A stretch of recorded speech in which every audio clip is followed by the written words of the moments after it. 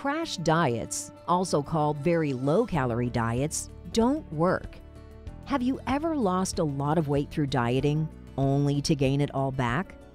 Studies have shown that trying to lose weight quickly using diets that restrict the foods you eat or how many calories you eat are not a good long term solution for health. Most people regain the weight they lost and often end up at an even higher weight than they started at.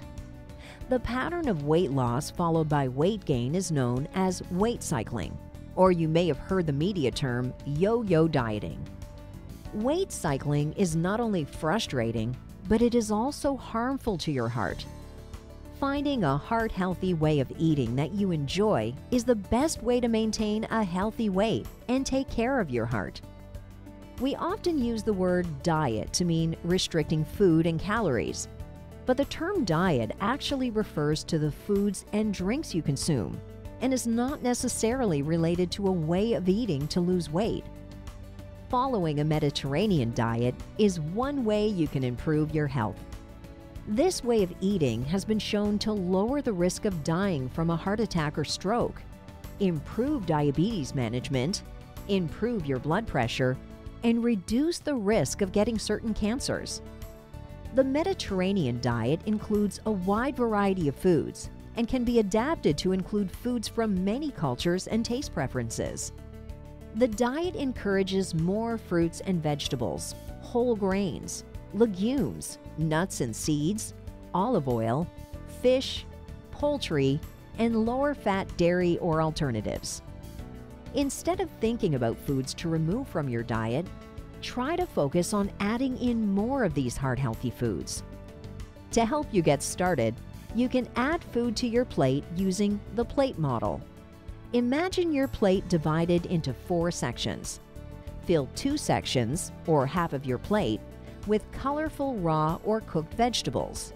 One section, a quarter of your plate, with whole grains or fiber rich starches, such as whole grain bread, quinoa, or sweet potato. And one section with healthy proteins such as fish, beans, or skinless white meat poultry. Filling your plate like this will help your body get the right combination of nutrients and keep you full and satisfied for longer between meals. Another way to make healthy changes to your diet is to practice more mindful and intuitive eating. Listen to your body's hunger and fullness cues. Slow down at meal times and savor your food. Bring more enjoyment to your meals by sharing them with friends and family rather than eating in front of a screen. By eating foods mindfully and being fully present, you can enjoy every flavor, aroma, and texture present in your meal. This can help increase feelings of fullness, satisfaction, and reduce food cravings. If you aren't sure how to make changes to your eating habits, a dietitian would be happy to help. They can show you how to adapt a healthy way of eating to your individual needs and preferences ensuring you get the nutrients you need and enjoy the foods you eat. Remember, a small step to eating healthier is a big step closer to better health.